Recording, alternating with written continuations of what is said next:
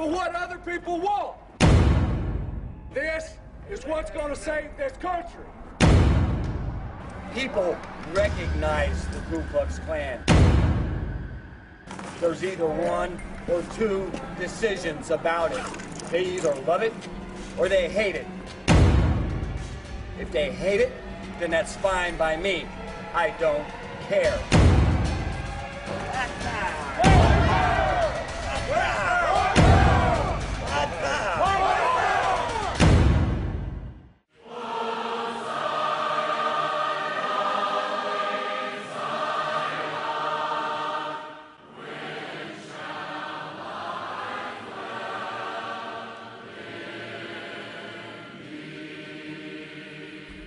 Good evening, everyone. James Oldfield here with you. This is What Does the Bible Say? We have a special treat for you tonight. We are going to have a discussion with Mr. Eli James, who's a former Imperial Kludd for the Ku Klux Klan, and we're going to be having some biblical discussions on our differences, what he believes about, uh, really, I guess, uh, the chosen people of God.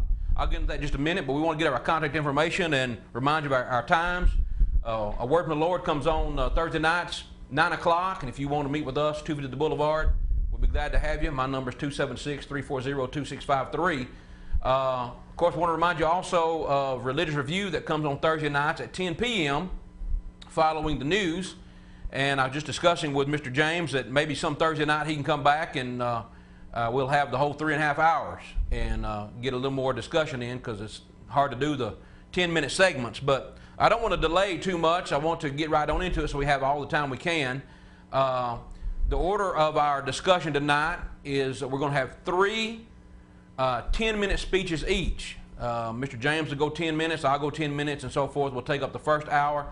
Then we're going to open the phone lines up for calls. You can call in, ask me a question, ask Mr. James a question, um, and then uh, we'll finish out the, our program. Uh, we'll close up. We'll give him a few more uh, minutes to make some closing remarks, and uh, and then we'll sign off. So I hope you're ready for that uh, for this discussion. So I'm not going to take uh, any more of, of Eli's time. I'm going to let him uh, have the first 10 minutes. I think he's going to give a maybe an introduction about some core beliefs that, that he has with the uh, Christian identity. Christian identity movement. Is that That's right. Now? Uh, so Christian identity movement. Yes.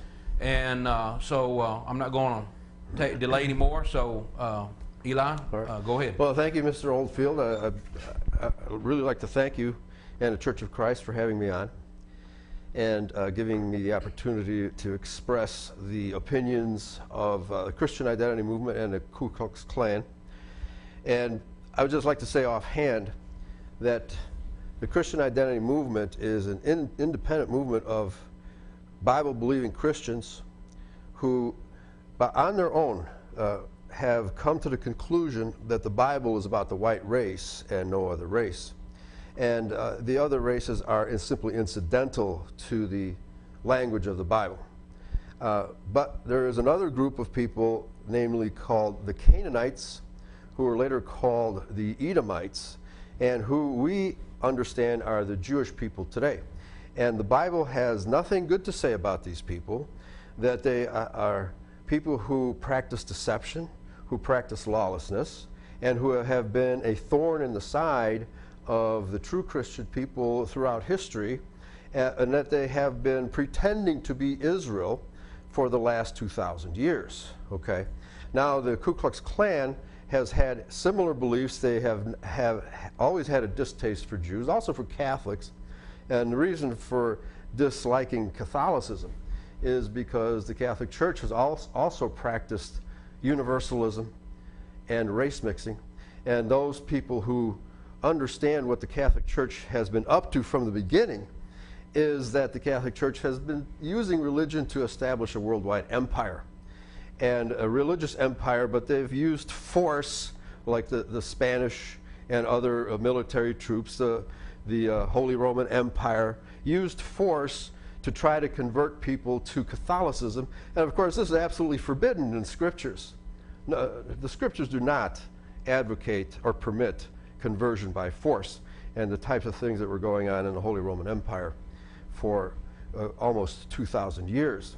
So, and we see that the Holy Roman Empire has been succeeded by the current Zionist empire that is actually using the same tactics, using fraud, deceit, uh, pretending to be something they're not, in order to fool, deceive, and make white Christians follow them instead of Jesus Christ. Okay?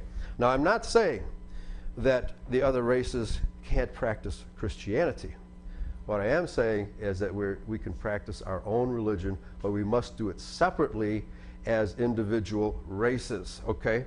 So, the, one of the crucial prophecies of the New Testament is Second Thessalonians chapter 2.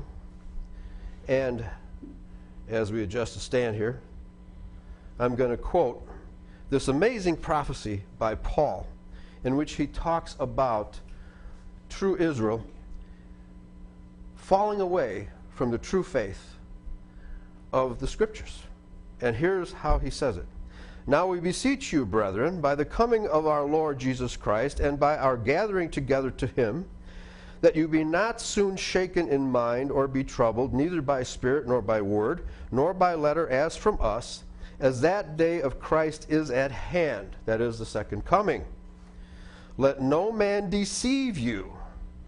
We are being warned not to be deceived. Do not allow yourself to be deceived by these people who pretend to be followers of Christ, who, or who pretend to be related to Christ and are not, and pretend to be Israel, for example.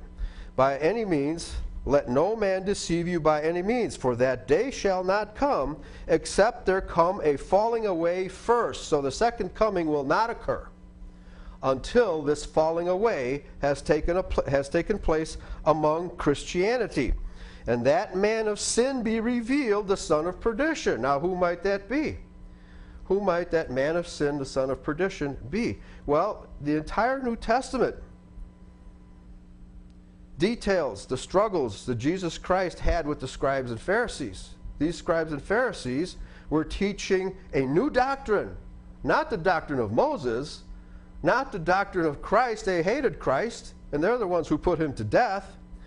Jesus told them, if you had believed Moses, you would believe me. But these scribes and Pharisees did not believe Moses. In Matthew chapter 23, he excoriates them, tells them that they have destroyed the law and the prophets and created their own tradition, and that tradition is called Judaism today. Since we understand the Jewish people are not the Israel of the Bible, and that they have created a new religion, not preserving the oracles of God, but perverting the oracles of God by creating their own tradition, which makes the law of Moses of none effect. That's what Jesus tells us in Matthew chapter 23. So, what are we doing following the traditions of these Judaizers, these Jews who have made up an entirely new religion which has nothing to do and which actually denies the validity of the scriptures. What are we doing engaging with these people who are, in fact, Christ haters? And every rabbi will tell you that Jesus Christ is not the Messiah. They do not believe that Jesus Christ is the Messiah. And this idea, this denial of Christ, is what unifies Judaism and brings them against true Christianity. For example, in the Israeli state, you will be put in jail for five years if you try to evangelize a Jew. We have no such regulation here in America. You are free to speak your mind, and, and you can evangelize anyone you please. But in the state of